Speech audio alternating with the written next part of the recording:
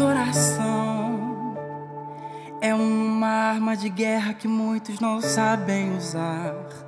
Mas Deus sempre nos ensina a adorar. Quando o dia mal chegar, você precisa adorar. Adoração, ela quebra cadeias e também destrói os grilhões. Esse é o poder que tem na adoração, que tem na adoração, que tem na adoração. Imagina se Paulo e Silas não começassem a adorar e um hino de adoração não viessem cantar, as correntes daquela prisão não iriam quebrar.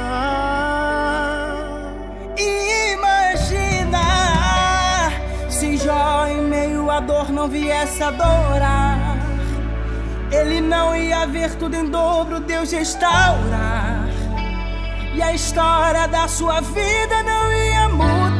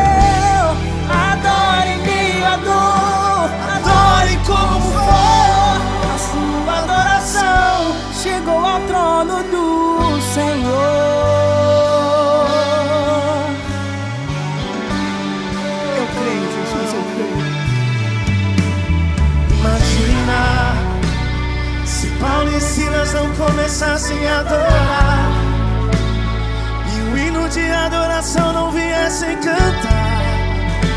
As correntes daquela prisão não iriam quebrar.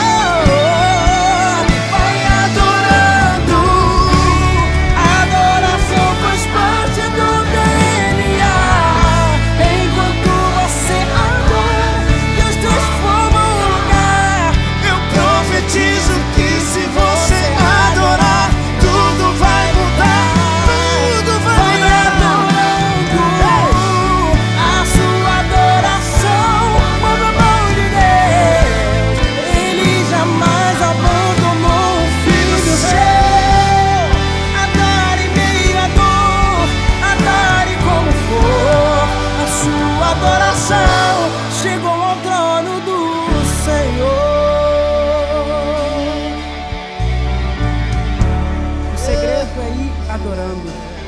Esse é o segredo. Vai adorando.